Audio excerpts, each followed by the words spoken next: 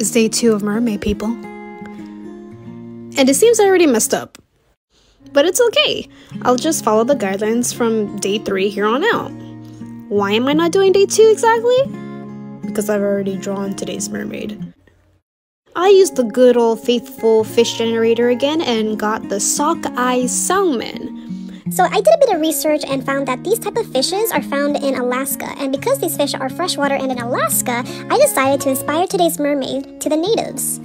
More specifically, the interior natives, the Athabascans. Sorry if I pronounced that wrong. Yes, I know that the Athabascans wear mostly these beautiful coats made from the hides of moose, but I thought it would be a little weird for a mermaid to wear such a fantastic, huge coat underwater.